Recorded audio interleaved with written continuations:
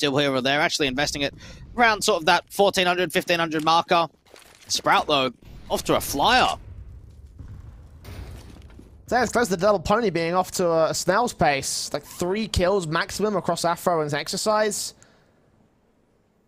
Low numbers in general. Double pony just not finding their engagements. Kills for Kei. Two lined up, looking for a bit more. No flashbang around it. It's a quadra. USP pulled out for the ace, and he gets it.